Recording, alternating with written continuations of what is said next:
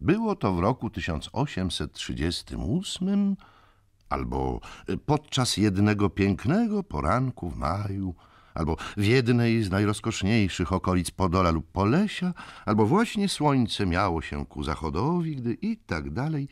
Tym sposobem zaczynają się zwykle powieści tkliwe, zabawne lub nauczające. Pozwolą mi jednak czytelnicy odstąpić od tych przyjętych form i zacząć od rzeczy najbardziej krajowej, najbardziej charakteryzującej naszą żyzną prowincję w pewnych porach roku, to jest od błota. Otóż błoto było ogromne, jak zwykle bywa na Wołyniu w połowie października. Koleje pełne gęstej i brudnej wody nie pozwalały wymierzyć swej głębokości. Po czarnej i rozmiękłej ziemi błyszczały tu i ówdzie jeziorka na trakcie i nawet na polach przygotowanych do wiosennej siejby. We wsiach wszystkie płoty były obryzgane, wszystkie karczmy wyglądały pstrokato. Wszędzie ludzie dochodzący do wrót lub do drzwi domów, podkasani jak najwyżej, z zabłoconymi nogami ślizgali się i grzęźli. Jeżeli kto jechał, to jechał stępo i leniwemu postępowi jego towarzyszyła muzyka kopyt końskich, klapiących o rzadkie błoto lub topiących się w rozmiękłej ziemi, wcale różna od tego odgłosu, jaki wydawał koń Farysa, gdy lotną swą nóżkę w głębokim piasku zanurzał. W takim była stanie piękna w innej porze okolica starokonstantynowskiego powiatu, żyzna, wzgórkowata, ozdobiona prześlicznymi laskami, które teraz nie zieleniły się, nie rzucały rozkosznych cieni, ale obnażone z liści stały spokojnie na wzgórzach jak szkielety gajów i klombów. Niebo jednakże było czyste, i jak się to zdarza czasem w połowie oktobra, słońce zaświeciło jasno tym blaskiem melancholicznym, tak podobnym do ostatniego uśmiechu, którym oddalający się przyjaciel żegna przyjaciela lub odjeżdżający w daleką podróż syn żegna rodziców i krewnych stojących na ganku i przesyłających mu ostatnie pocałowanie. O cztery mile od starego Konstantynowa na lewo ugrzązł na drodze w kałuży wielkiej i głębokiej kocz otwarty, którym były dwie kobiety. Jedna już nie młoda, brzydka, ale ubrana z przesadą i kokieterią, zrzymała się i łajała furmana łamanym polskim językiem. Druga, mająca nie więcej jak lat osiemnaście lub dziewiętnaście, w eleganckim kapeluszu, w materialnej salopie, strzelała wokoło czarnymi oczami, śmiała się do rozpuku i z swojej przygody, i z gniewu towarzyszki i poprawiała białą i wąską rączką pukle czarnych włosów które się wydobywały spod kapelusza i ocieniały twarz jej trochę śniadą, ale pełną czerstwości i ognia. Furman i lokaj, grzęznąc po kolana w błocie, starali się pomóc koniom i podnieść cokolwiek kocz, ale w żaden sposób z miejsca ruszyć go nie mogli. Ich ładna Liberia, ich ręce i twarze, wszystko było obryzgane i zawalane. Zmęczeni nareszcie i zdesperowani, sami nie wiedzieli, co począć. Żeby jaki chłop nadjechał z drączkiem – rzekł Maciej Furman, obcierając rękawem twarz i rozmazując jeszcze gorzej błoto z wielką pociechą panny Kamili. Kto teraz jeździ, co ma rozum? odpowiedział Loka Ignacy z gniewem i ofuknieniem. Słyszysz, Belciu, co on mówi? rzekła panna Kamila do panny Beldo, swojej guwernantki, którą przez skrócenie i w poufałości panny na wydaniu, a może i przez kontrast jej szpetności, Belcią nazywała. Bo ma rację, odpowiedziała Francuzica z okropnym grymasem. Zachciało ci się tej wizyty, nie wiedzieć po co. Teraz wrócim do domu piechotą po kolana w błocie. Quel vilain pays. Widzisz, Belciu, jakaś niewdzięczna. Nie byłabyś widziała pana Kazimierza, który nie mógł się napatrzyć na twoje kolczyki i tak admirował twój łańcuch. Uśmiechnęła się guwernantka i pokazała dwa rzędy zębów, z których połowy nie było, a druga połowa była czarna i wykruszona. Ignacy, zawołała panna Kamila, wszak to szyszkowce widać. A rozumie się, że szyszkowce, odpowiedział ruszając ramionami. O, to nie masz czego desperować, moja Beluniu. Wszak tu nie więcej jak ćwierć mili do domu.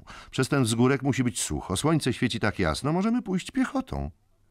Co panna mówi? rzekł Ignacy. Za tym pagórkiem zaraz staw i bagno po szyję. O, ja nieszczęśliwa, krzyknęła panna Beldo. Widzicie, jak wy glupca zajechala? Quel gens, mon dieu! O, le maudit pays! Ale doprawdy, Ignacy, cóż my będziemy robić? zapytała panna Kamila. A, a cóż, będziemy czekać. Może się te bestie namyślą i wezmą razem, jak odpoczną? A jak się nie namyślą? rzekła uśmiechając się figlarnie. To, to będziemy czekać, yy, póki kto nie nadjedzie. A jak nie nadjedzie? mówiła znowu panienka. I ja myślę, że tak będzie, boś ty sam powiedział, że teraz nikt rozumny nie jeździ. No cóż, to w ten czas wsiądę na konia i pojadę do domu po insze konie. A czy nie lepiej by od tego zacząć, panie Ignacy? Jak myślisz? rzekła, opierając na dłoni piękną swą twarzyczkę. Jeśli pan nakaże, pojadę zaraz. Macieju, odprzęż ślepego. Aha, żeby cię zrzucił, mazgaju. Ty lepiej siadaj na białonóżkę. A i na tym trzymaj się dobrze, bo to wy kredensowa piechota nawet z koniem nie umiecie się obchodzić. Tak mruczał wąsaty furman i zabierał się odprzęgać dyszlowego konia, odgartując biczyskiem błoto z pasów i sztelwagi. Panna Kamila uśmiechnęła się, patrząc na tę pogardę furmana dla lokaja. Gdyby była więcej znała świat, wiedziałaby o tym, że na różnych szczeblach społeczności bywa to samo, różnica tylko w dowcipie drwinek i w formie liberii. Gdy tak Maciej krzątał się i klął wizyty w październiku, obie kobiety, oparłszy się w otwartym koczu, patrzały jedna na prawo, druga na lewo. Na lewo były Szyszkowce, wielka wieś prezesa Zegartowskiego, ojca panny Kamili. Na prawo, w roztwierającej się coraz dolinie, rozciągały się Czaplińce. Wieś ogromna i wielu licząca dziedziców. Należała ona niegdyś do możnej familii hrabiego S, a później przez eksdywizję rozdzielona na wiele cząstek stała się rzeczą pospolitą kolokacyjną, pełną intryg, namiętności, gniewów, przyjaźni, partii i tak. Słowem, pełną tego wszystkiego w maleńkich wymiarach, co bywa w każdej Rzeczpospolitej na wielką skalę. O kroków dwieście od tego miejsca, gdzie stał w błocie kocz panny Kamini, zawracała się na prawo szeroka droga do Czapliniec. I widać było, jak rzędem wierzb wysadzona ciągnęła się przez wieś całą. Tu i ówdzie, na prawo i na lewo drogi, sterczały kominy dworów i dworków, okrążonych ten ogrodem, ten zabudowaniami gospodarskimi. Wiedziała o tym panna Kamila, że ojciec jej, który był wielbicielem pruskiej metody zaokrąglania, miał wielki pociąg do Czapliniec i używał wszelkich sposobów i intryg, aby tą wsią zawładnąć. Bo grunta jej wchodziły długim pasem w jego łany i przeżynały najkrótszą komunikację między Szyszkowcami a innymi wsiami prezesa, które poza tą wsią leżały i już po obu stronach obejmowały ją dławiącymi ramiony. Wszakże panna Kamila żadnego z tych dziedziców nie znała. Ledwie parę ich nazwisk obiło się o jej uszy, a przez wieś samą przejeżdżała tylko kilka razy.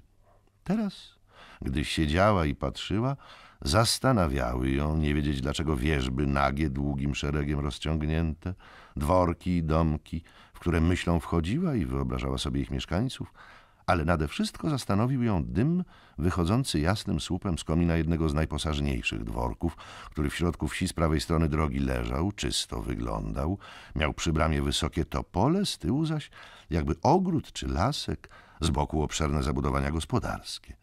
Im wyżej podnosił się ów biały słup w powietrze, tym przeźroczystszym się stawał, tym rozmaitsze przybierał formy, a przyjmując w siebie żywe promienie jesiennego słońca, rozlicznymi ozdabiał się kolorami.